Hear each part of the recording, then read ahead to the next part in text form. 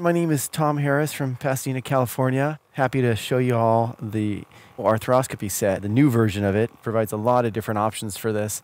We'll start off by showing some of the sharp and blunt elevators. So this is a nice tool to not necessarily cut cartilage, but just to elevate cartilage. You can also kind of tap the cartilage from the top down and just get a feel for how soft the cartilage is and if there's a lesion underneath uh, the cartilage itself. And there are four different ring curettes in this set of different sizes and uh, alignments. There's a small angled curette. And because of that angle, it makes it nice to just define our edges now and just get a little deeper into where that lesion is. You can see that it looks like it's relatively well contained. It doesn't seem to go into that lateral gutter. The set comes with cupped curettes, both straight and curved.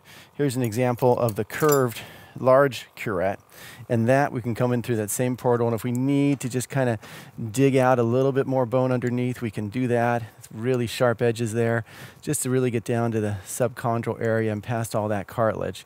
And now you're getting into some, some more of the subchondral area and you can see there's a stable rim laterally and the area here. And you can start seeing some of that bone underneath that area that you want to penetrate with your microfracture.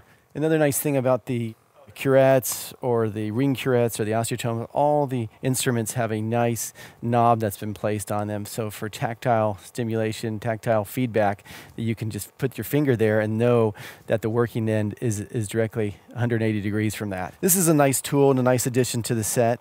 This is a cupped curette as well, but it's a little bit smaller. And there's different sizes of that. It's got an angle to it if you need to get really in the back of the ankle joint, and then there's a straight side to it. And when you put it in the ankle, it's really a nice size.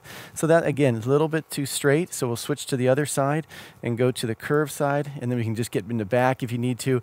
Really useful tool to have in the set and can just kind of level this off a little more. We'll also just mention the double-ended curettes, which can serve as a um, shovel or a rake and you'll see if there's a really posterior, real anterior lesion they need to cut or push. This almost work, works like a rake or a shovel, not as useful for this particular lesion, but if there's something more in the back or something more in the front, then you can use that. But you can see a newer tool here that has some nice applications to it as well. For ankle fusions, anytime you want to have uh, osteotome uh, to prepare a joint for a fusion, there's three different osteotomes in here. There's a nice straight one. So if you were going to prepare the tibia for an ankle fusion, this would be a great, a great tool in your warehouse. And same thing here, this one's got a little bit more curve to it. This would work a little bit better on the talus because it's got a nice curve as we go through that area. So not necessarily germane to this particular lesion, but something that's nice to have for your ankle arthroscopic fusions.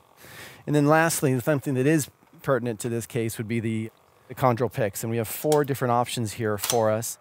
For this case, we've employed a 90 degree. It's always kind of kind of coming from the side here. And then you can see you just got the nice color coded nature of it there. And then we'll go over the nice attachments to it. So instead of just pushing down with your hand, which we've done in the past, now we have a nice attachment that's going to fit onto this. So this is the attachment rod and the strike attachment, which is a new addition to this arthroscopy set, which makes it easier to impact. And it goes into, there's a little hole right here that fits in there nicely. And then you push straight down and it locks onto there as well. So you've got a nice area to impact that's a little bit more close in terms of the direction of the impact. And so as we watch on the arthroscopic, you can see how that goes in there nicely and kind of buries it all the way to the edge of that gold area. And if we want to do a different angle, you can see some of that fat removing is which we want to see.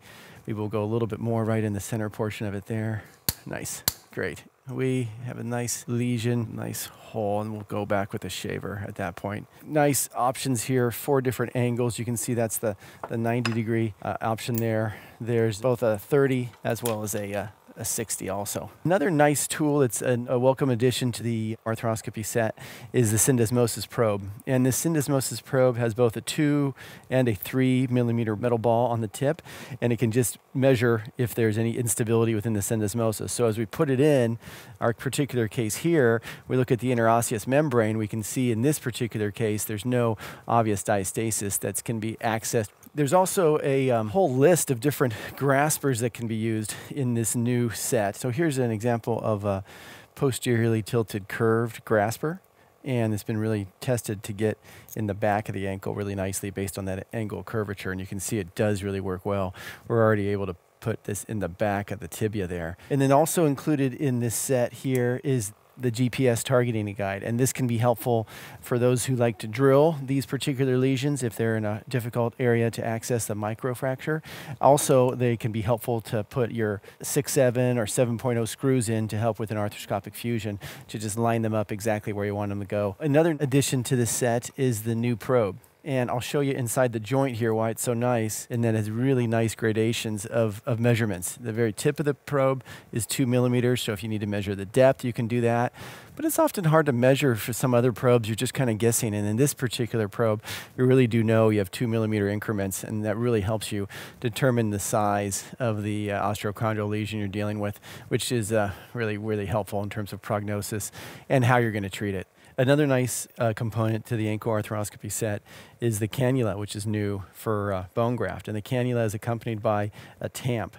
So this can be filled in with um, Arthrocell, or today we're going to demonstrate a new AlloSync expand graft. We'll place it in this area and then can be pushed and placed into the joint, which is a nice option, not necessarily for osteochondral defect, but more for an arthroscopic fusion or where you're trying to deliver a large amount of bone graft into a joint. The joint's already been dried